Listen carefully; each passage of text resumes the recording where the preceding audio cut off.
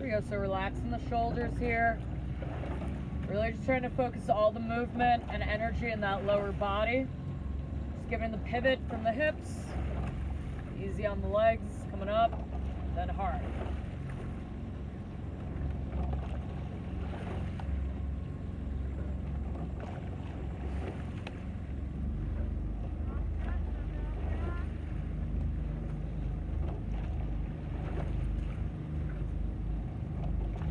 So as we're going through the drive, just thinking, I'm, I'm accelerating that outside handle grip, not by pulling on it, but by accelerating it through the drive with that lower body.